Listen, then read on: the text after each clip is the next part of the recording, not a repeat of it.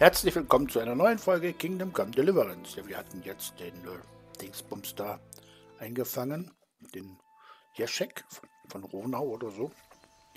Der Fälscher da. Jetzt müssen wir nach Skalitz den hier äh, ein bisschen mit Herrn Ratzig sprechen. Hier müssen wir mit dem Tobi Pfeiffer, der ist auch gleich nach Skalitz abgedackelt. War natürlich schlecht. Ich hatte keine Gelegenheit mehr mit dem zu reden. So, ansonsten könnte man hier noch ein bisschen machen. Aber äh,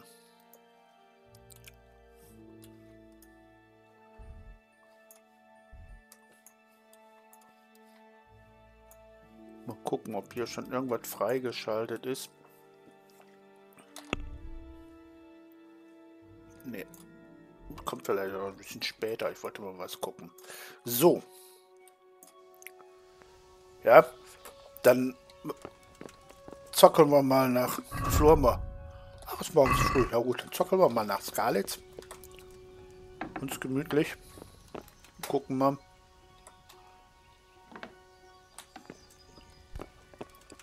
Na, ich glaube, ich habe meinen... Wo hab ich meinen Hund eigentlich?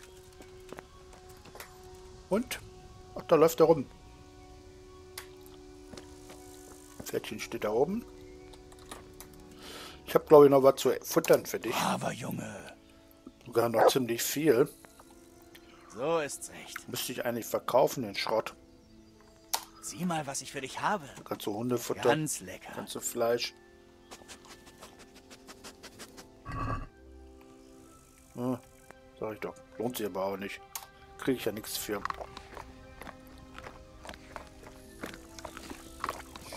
Hätte man nach Pribyslavitz und dann ähm, trocknen müssen. Nur trocken. Dörrfleisch oder so. So, dann machen wir uns mal auf den Weg. Dann reiten wir mal nach äh, Ratay.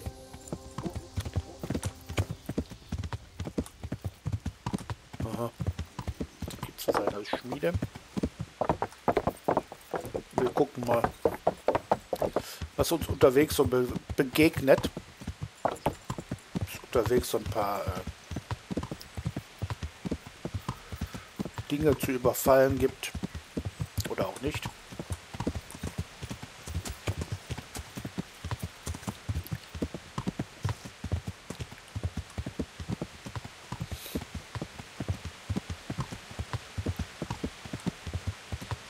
Grundsätzlich am besten so Überfallstellen voll durchreiten und dann erst überlegen hinterher, ob man äh, kämpfen will oder los ist. Oder ob man einfach keine Lust hat und weiter reitet. Muss so aufpassen, man nicht in irgendeine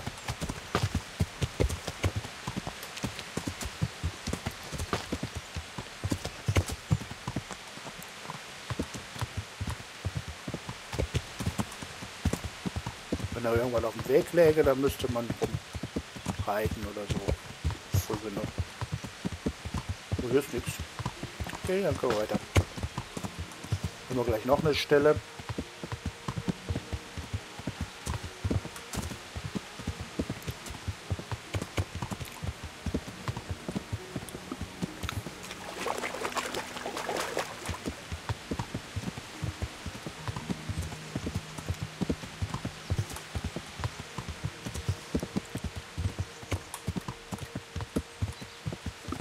Ach,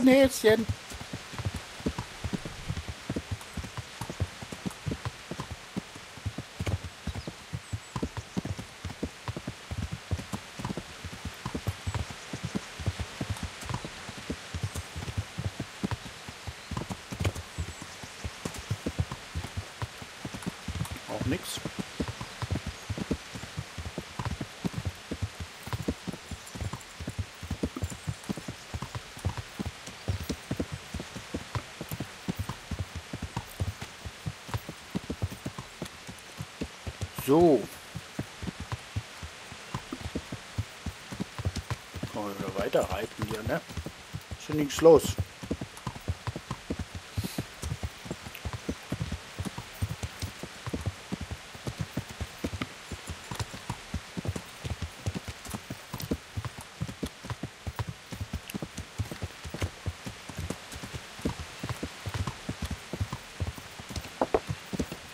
Da können wir gleich wieder, ach nee, wird Regen, kann man mit Theresa nicht spazieren gehen, ne?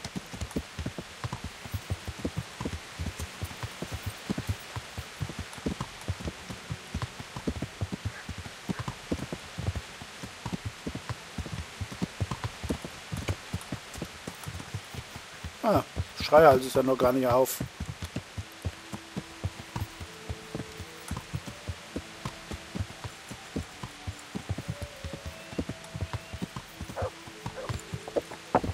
Auch noch nichts.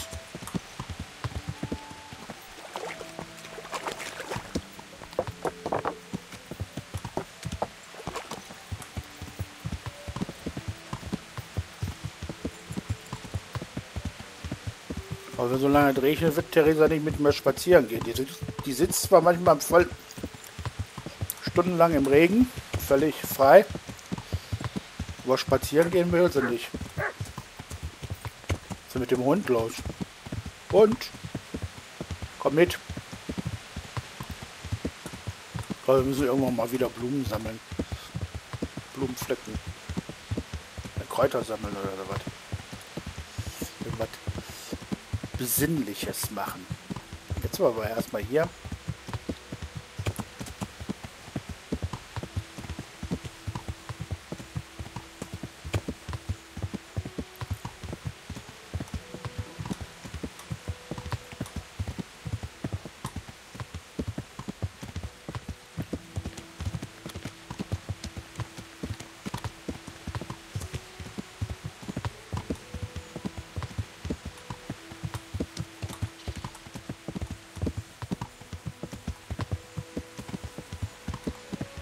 Mal, da steht einer.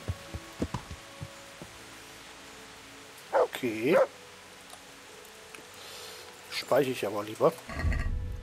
Ja, sonst ist das nicht so schlimm. Ich weiß nicht, was der will. Aber ich kann nicht... Ähm,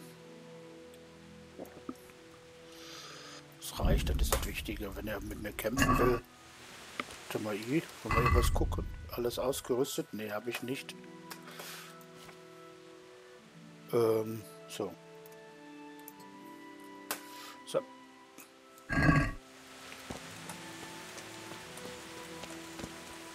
So. Es ist nichts dabei. Ach, nur ein Bettler. Okay, der will nur was verkaufen. geht es? Na gut. Ein Angebot, das du nicht ablehnen kannst. Die feinsten Waren zum unschlagbaren Preis. Aha. Na gut, zeig mir dein Angebot. Wie du wünschst. Oh, oh. 10,5? Ja, nehmen wir. Brauche ich eigentlich. Ist aber wurscht. Aber können. Ist gut.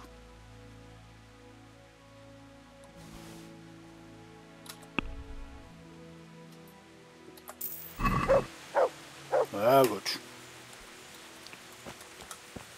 Ist egal. Komm, reiten wir weiter.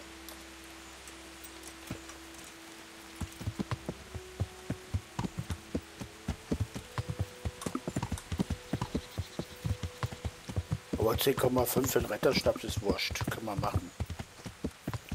Der arme Bettler ein bisschen Geld.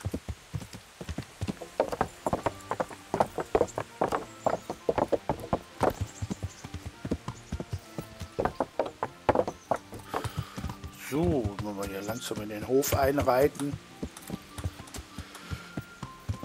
Sitzt sie da? Nö. Noch zu früh. Theresa ist noch gar nicht wach, ne?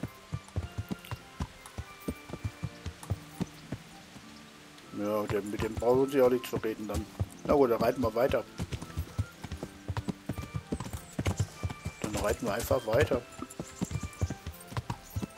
Können immer noch mit dem reden.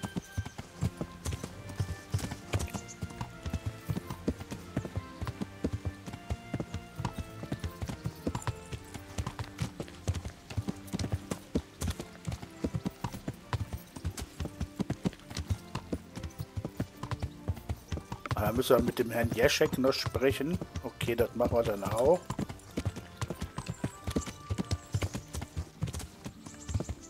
Gucken, ob da schon jemand ansprechbar ist von den zwei. Sollen wir erstmal gucken, dass ich mit dem noch recht früh hier, ne? Guck mal, er läuft da rum. Okay. Also der ist nicht mehr im Bett. Läuft er wieder da rein. Aber irgendwie will ich lieber mit dem äh, Dingsbums zuerst sprechen. Obwohl eigentlich egal ist, ne?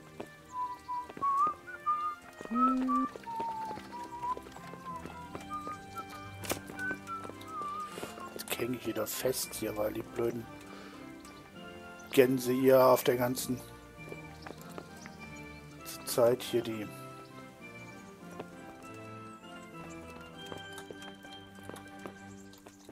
Ich bin am Verzweifeln.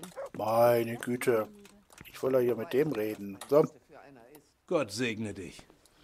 Was betrübt dich? nix. Wegen der Mine. Ich bin wegen der Mine hier. Sehr gut. Was hast du herausgefunden? Ich konnte nicht überall nachsehen, aber ich habe etwas in Erfahrung gebracht. Was denn? Wendel und seine Leute haben Silber gestohlen. Diese Maden. Ich wusste es. Hast du ihn hergebracht? Leider nicht. Er hatte Angst, auf dem Scheiterhaufen zu landen und versuchte mich zu töten. Nun, ich bin froh, dass ihm das nicht gelungen ist. Aber nun werde ich gar nichts erfahren. Tja, das ist wohl Pech, nicht wahr? Lebe wohl. Ja, soll ich mit dem nochmal reden? Ja, kann ich schon, aber ist nix. Möge Gott mit dir sein. So gibt's ja nichts für. Kein Ergebnis, nix. Na gut, dann versuche ich das. Und wenn es ihm nicht schmeckt, sperre ich ihn zu den Na Hühnern, gut. dass er nächstes Mal einen anständigen Hunger hat. Da müssen wir mal gucken. Und, ja, ja. Da hier kommt er. Wer läuft denn denn hier rum? Zack, Ja, da ja. ist er ja. Gute Arbeit, Heinrich. Vielen Dank, Herr. Ich würde dir gern etwas Ruhe gewähren, aber ich muss dich schon wieder um etwas bitten. Was immer du befiehlst. Jeschek weigert sich zu reden. Der halsstarrige Bastard verlangt nach dir. Nach mir? Ja, normalerweise würde ich Hauptmann Bernhard schicken, um alles aus ihm herauszuprügeln. Aber wenn er unbedingt mit dir sprechen will? Ich werde versuchen, ihm etwas zu entlocken. Wo ist er? Im Turm eingesperrt. Bernhard gibt dir den Schlüssel. In Ordnung, Herr. Nee, das nicht. Okay. Aha. Die habe ich schon. Den habe ich nämlich schon mal den dem Hauptmann Bernhard geklaut. Hündchen? Komm, kriegst noch was zu fressen. Uns tut das Fleisch eh nicht besser. Sieh mal, was ich für dich habe. Muss das loswerden. Ganz lecker. Blöde Hundefleisch hier.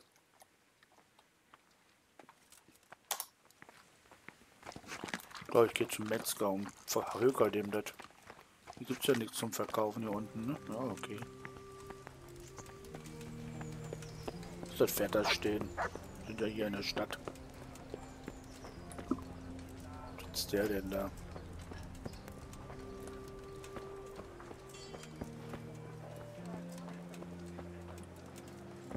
Da. Gott schütze dich, Heinrich. Na? Flegel? Ich will mal erstmal mit dem Herrn, mit dem Jeschek reden, aber ich glaube, ich werde dem diesmal nicht so.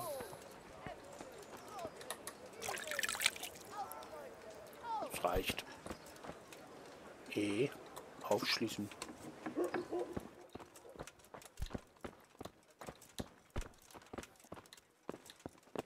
Hä? Musst du jetzt gerade hier hochkommen?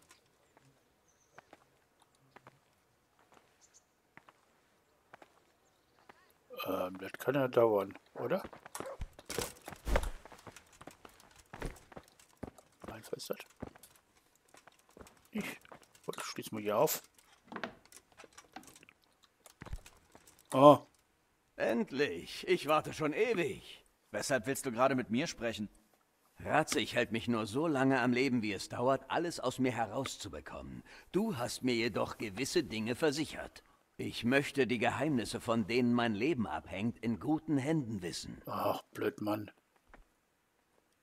Oh, Dann rede schon. Sag mir, was du weißt, dann sehen wir weiter. Gut, frag mich, was du willst. Ich werde mich nicht widersetzen. Ich will in erster Linie wissen, wer hinter all dem steckt. Für wen habt ihr diese Münzen hergestellt? Du denkst, alleine wäre ich dazu nicht imstande gewesen? Ich will dich nicht beleidigen, aber eine Person allein bringt das nicht fertig. Na gut, es fing damit an, dass ich pleite war. Wie immer. Also ließ ich mich von diesen Pressern in Sasau anheuern. Anheuern? Wozu? Ich habe nicht allzu viele Fragen gestellt. In diesem Geschäft ist das keine gute Idee. Aber als sie erfuhren, dass ich kein Niemand war, übertrugen sie mir die Leitung fürs Fälschen. Ein Fremder namens Eric gab mir Anweisungen, aber er ist keinesfalls der Kopf der Bande. Und ein Hochrangiger im Kloster ist ebenfalls in die Sache verwickelt. Aber keine Ahnung wer. ähm, das wollte ich wissen. Dieser hochrangige Kerl im Kloster. Was kannst du mir über ihn sagen? Ich weiß nicht, wer er ist. Nur, dass er ein hohes Tier sein muss. Immerhin kümmert er sich um den Austausch der Fälschungen in Passau. Hm, verstehe. Kannst du mir sonst noch etwas über ihn sagen? Nein, er hätte mich mit Werkstoffen beliefern sollen, aber das tat er nicht. Erik meinte, er hätte kalte Füße bekommen. Aha. Gut. Dieser Eric. Du meinst, er hat nicht das Sagen? Er spreizt sich wie ein Pfau, ist aber bloß ein blauäugiger Welpe. Außerdem redet er ständig von seinem Herrn, wenn auch nicht namentlich. Wo finde ich diesen Eric? Ihr müsst einen Treffpunkt gehabt haben. Er kam immer unangemeldet zur Werkstatt. Aber nach allem, was sich ereignet hat, bezweifle ich, dass er sich dort wieder blicken lässt. Wie hast du überhaupt davon erfahren? Vor ein paar Monaten traf ich ein paar alte Freunde in Kolin. Sie sagten, sie wären unterwegs nach Sasau, da man dort harte Kerle anheuern würde. Und dass sie jeden nehmen. Alte Freunde? Wer denn? Ach, bloß ein paar Briganten. Wir überfielen früher in Mähren gemeinsam die Boten des Markgrafen. Nette Freunde hast du da. Ich hatte Streit mit dem Markgrafen. Ein Mann wie ich lernt so alle möglichen Leute kennen. Und was dann? Rapota und ich haben uns monatelang von Brautrinde ernährt. Also schlug ich das Angebot auf Arbeit nicht aus. Ob ehrlich oder nicht. Wir ritten nach Sasau und trafen uns mit den Pressern. Sie erkannten schnell, dass ich kein Bauer, sondern ein Adliger in Nöten war. Komm langsam zum Punkt. Nun, sie stellten mich diesem Erik vor und sagten mir nur das Nötigste. Sie errichteten die Werkstatt und beschafften die Männer, Rohstoffe, alles. Presser? Willst du damit sagen, dieser Erik heuert in Sasau bewaffnete Männer an? Nun, scheint so. Ich gab den Pressern dafür etwas von den Münzen ab. Den gefälschten natürlich. Wo finde ich diese Presser? Schwierig. Meine Freunde führten mich zu ihnen. Wir trafen uns mit ihnen in den Wäldern bei Sasau. Man muss nur die richtigen Leute kennen. Du sagtest, du hast denen Geld gegeben. Wo? Sie ritten zu mir zum Minenschacht. Aber ich schätze, dort wirst du sie nicht mehr finden. Wenn du meinst. Ja, dann sind wir also fertig. Das sollte genügen. Das sollte fürs Erste reichen. Legst du bei Herrn Ratzig ein gutes Wort für mich ein? Ich würde ihm die Treue schwören. Ich will kein Abtrünniger mehr sein.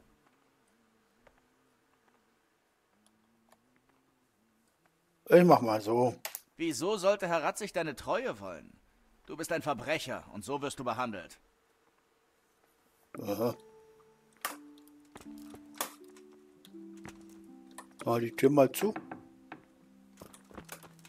Ruf verschlechtert bei dem, aber das ist ja nicht so wichtig. Die steckt ja immer noch da auf der... Kann man nicht aufmachen? Ist da der Rapporter drin? Was ist denn da drin? Ah, das ist immer noch der Kumane, ne? Okay. Pass doch auf. Ja, dann steppt er nicht auf der Treppe da die ganze Zeit rum. Hallo, lass mich mal Mhm. durch. Meine Güte, ey. Uh, euch diese Gurken an. Die bleiben den ganzen Winter frisch. Schnell, greift zu, so gut. Haben wir sonst noch was? Am M auf der Karte ist sonst weiter nichts. Ach, guck mal, er ist jetzt wieder da unten. Ja, guck mal, unser... Na, er ist da, Herr Ratzig. Sonst haben wir hier nichts, ne? Hauptmann Bernhard ist da oben, aber Kampfmeister. Hier ist nichts los, ne? Mal was anderes gucken. Immer noch nicht. Ich will da einfach gucken, ob da noch was ist. Das weiß ich auch nicht. Hier ist irgendwo im Wald Aber da weiß ich gar nicht so genau, wo das ist. Ich habe da auch keinen Plan, keine Karte von. Ist immer noch nichts. Also. Na dann nicht.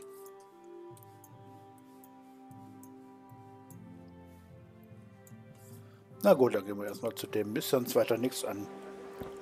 Gehen wir mal erstmal zu Herrn Ratzig. Reden mit dem, dann haben wir das abgeschlossen.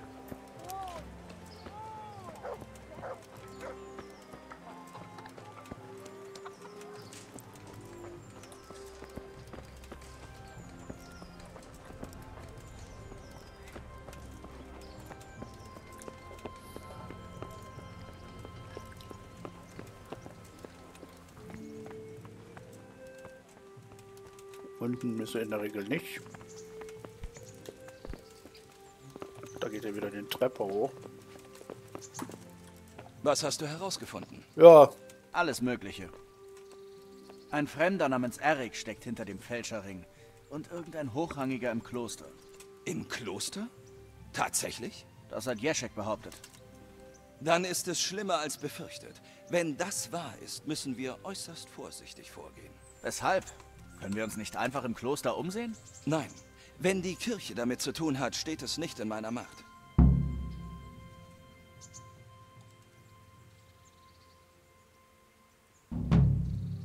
Aber. Aber wenn jemand im Kloster Verbrechen gegen die Krone verübt? Natürlich. Und wieso verhafte ich Sigismund von Luxemburg nicht auch gleich, wenn ich schon dabei bin? Er ist auch ein Verbrecher. Ich muss nachdenken. Das ist eine vertrackte Angelegenheit. Und ich muss mich mit Herrn Hanusch beraten. Was ist mit diesem Erik? Wer ist er? Das weiß ich nicht. Aber er heuert Männer in Sasau an und stellt eine Armee auf. Verdammt! Pribislawitz war also nicht das Ende der Geschichte. Höchstwahrscheinlich nicht, Herr. Noch dazu ist Herr Jeschek davon überzeugt, dass Erik nur ein Mittelsmann ist und jemand anderes die Fäden zieht. Du solltest nach Sasau zurückkehren und das genauer untersuchen. Wenn Sie einen Angriff planen, müssen wir diesmal früher davon erfahren. Ich bezweifle, dass es so einfach ist. Herr Jeschek kennt die Presser nicht und weiß nicht, wo sie zu finden sind. Du musst das irgendwie hinbekommen, Junge. Erzähl mir nicht, hier versammelt sich eine Horde Bewaffneter und niemand weiß davon. Aha. Ich kenne Simon, den Müller aus Sasau. Na bitte. Müller wissen gewöhnlich immer, was sich in der Gegend abspielt. Geh und sprich mit ihm. Aber sei vorsichtig, Heinrich. Und vermeide es, meinen Namen zu nennen. Das zöge nur unerwünschte Aufmerksamkeit auf dich. Die Presser sollen dich für einen gewöhnlichen Dorfjungen halten, den sie anwerben können. Verstanden, Herr. Ich werde mein Bestes geben. Ich weiß, ich verlange viel, aber ich wüsste niemanden, der besser für dieses Unterfangen geeignet wäre. Ähm, Gibt es einen Ärger mit dem, wie du befiehlst? Wie du befiehlst, Herr. Den anderen kann ich nicht mehr machen. Na gut. Kann ich mit dem nochmal reden?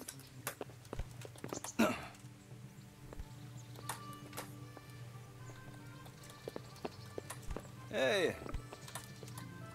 Gott sei mit dir, Heinrich. Ich beglückwünsche dich zum Sieg beim Turnier.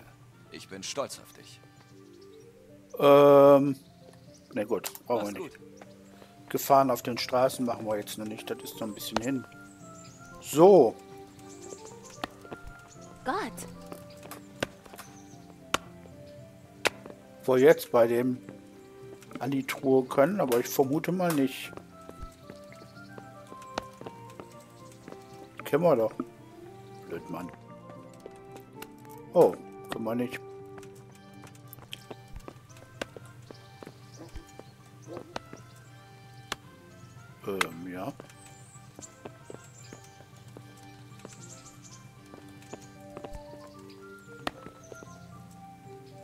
Gehen wir vorbei hier.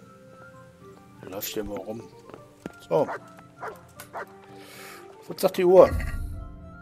Also, zu Theresa können wir jetzt noch. Komm mit, Hund. Reiten runter. Ab zu Theresa. Erstmal zu Theresa.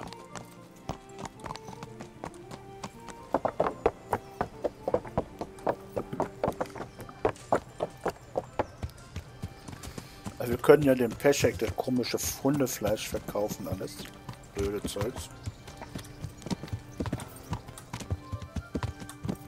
Nervt, so viel Schrott in der Tasche zu haben.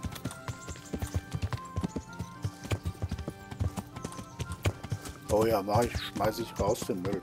Weg damit. Ich hab den noch. Mittlerweile dürfte der auch wieder Geld haben, oder? Ansonsten ist es doch auch egal, ob er Geld hat oder nicht Geld hat. Dafür gibt's eh nichts. Gescheit. Ah, Theresa sitzt da schon wieder. Hallo, ich bin ja wieder da. Hm. Wir wollen mal jetzt gucken wegen dem Pferd. Ähm, habe ich hier noch von dem Fleisch drin? Genau.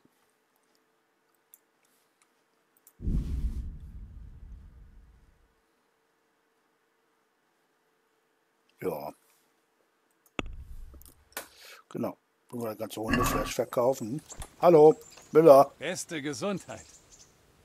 Ich habe noch was Schrott zu verkaufen. Ich habe hier Dinge, die ihren Besitzern abhanden gekommen sind. Aha. Mal sehen, was wir da machen können. Dann viel Glück. Ähm. Ja, hat wieder Geld. Das ist so die 1000. 555, das ist nichts zum Verkaufen. Das ist so nichts. Haltbar Äpfel, die man auch verkaufen. No. Jetzt ein Schrott hier.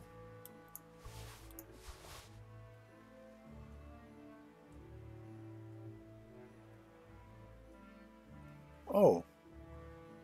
Ist auch schon durch.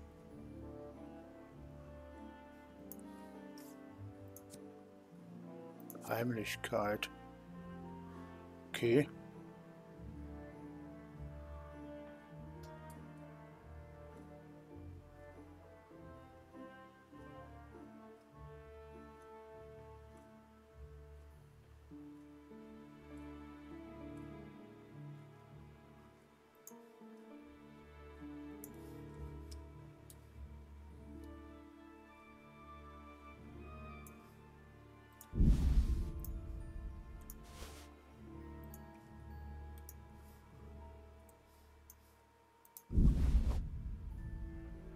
Okay. Damit. So.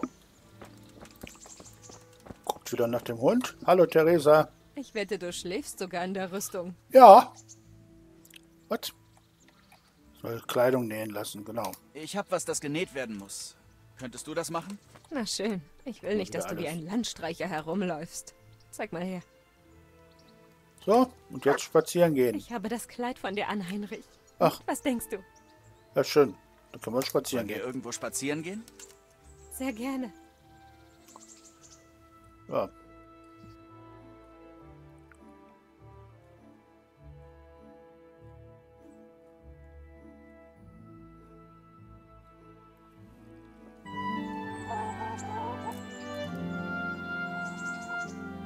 Das ist immer dasselbe, da ändert sich jetzt nichts. Glaube ich. Nicht, dass ich wüsste.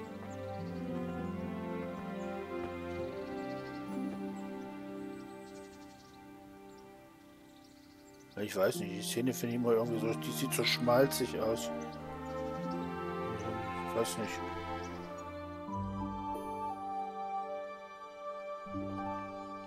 Naja, egal.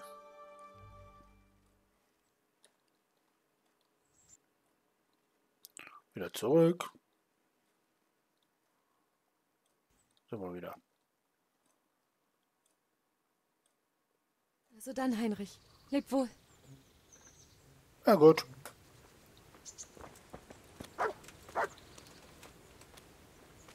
Und ich mache jetzt hier einen Schläfchen, Nickerchen für eine Stunde. Und dann beenden wir die Folge und dann gehen wir gleich zum Herrn Hans. In der nächsten Folge. Dann fangen wir mit dem DLC an. Die amorösen Abenteuer des Herrn Hans Capone werden dann auf dem Plan stehen.